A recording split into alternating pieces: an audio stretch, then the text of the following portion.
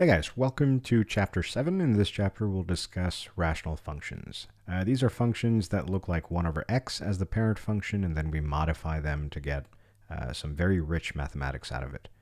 All of this starts with inverse variation, so that's why that's our first section, 7.1. Uh, learning objectives for this section will be, by the end of the section, you should be able to classify direct versus inverse versus joint variation. And then while this uh, objective literally says write inverse variation equations, we'll practice how to do that with direct and joint variation as well. Let's get started. So I guess the first order of business would be to determine the difference between direct and inverse variation. We say that we have two variables, x and y, and there's nothing specific about x and y. These variables could be p and q, l and r, uh, a and b, for instance. Uh, there's nothing inherently special about the two variables x and y. We say that two variables show direct variation when the relationship between them is as follows. y equals a times x, or y equals ax, as long as a is not 0. Now, a is the constant of variation, so it has to be a real number, but it's not allowed to be 0 because if we multiply a variable by 0, 0 times x is just going to be 0. So x is no longer a variable. It, it's immaterial as to what the value of x is if we multiply it by 0. So that's why we say that the constant of variation must be some number, positive, negative, fraction, decimal, that's immaterial, but it has to be a non-zero number, because if we multiply it by 0, the whole thing just vanishes. Now, a uh, this is a, a, common misconception that students walk in with that a has to be a positive number or that it has to be a number greater than 1. That's not the case at all. a could be positive, negative, it could be a fraction, it could be a decimal.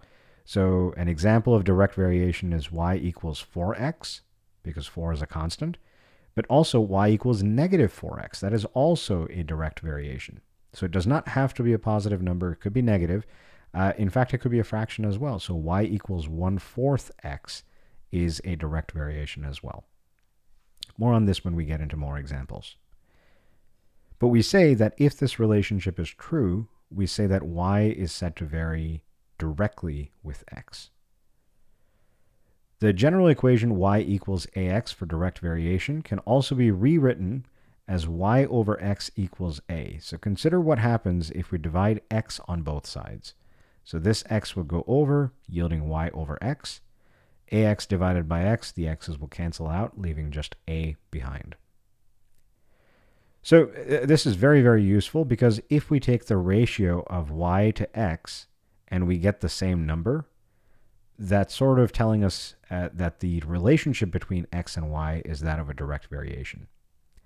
So any ordered pairs that we have that follow this format, where if we divide the y coordinate by the x coordinate, and we get some number, and if we divide another y coordinate by another x coordinate, if we get the same number, we see that that's going to be a direct variation. More on this again when we see the examples. Next, uh, an introduction to inverse variation. We say that two variables, again, the, the name of the variable is immaterial. It could be anything we want them to be we say that they vary inversely, or that they show inverse variation, if the relationship is y equals some constant a divided by x. Again, a is not allowed to be 0 because 0 divided by a variable would just end up being 0. So yet again, a is called a constant of variation. And then we know that if this relationship is satisfied, that y is varying inversely with respect to x. Additionally, just like we did in the previous problem, what happens if we multiply the x over to the other side to get the constant by itself? If we multiply the x over, we're going to get an expression that says xy equals a. So if we have a set of ordered pairs, that's where we can use this idea. If we multiply the x coordinate by the y coordinate and we get some number, well, whatever that number happens to be, could be a positive number, could be a negative number, could be a fraction, could be a decimal, as long as we don't get zero, we say that x and y vary inversely, or that x and y show inverse variation. Let's look at some brief examples. Let's say we're asked to determine whether x and y, in these three examples, show direct variation, inverse variation, or perhaps neither. So first example is xy equals 5. Ideally, what you want to do is try to rewrite it so that the y is by itself on one side and the x is on the other side, because that will clarify the location of the y, the location of the x, and the location of a. So if we divide both sides by x, we end up with y equals 5 over x. This reminds us of y equals a, a constant, divided by x. So this yields inverse variation. Or we know that the, the relationship between x and y here is that, that they vary inversely to each other. Here, y is already solved for.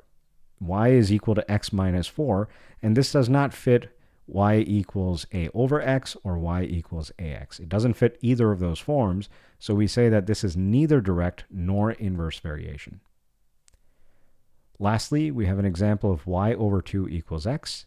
Here, again, the same spirit, if we try to get y by itself, we can multiply the 2 over to the other side, and that yields us y equals 2x. This looks exactly like y equals a times x, some constant times x. And that was the equation that direct variation follows.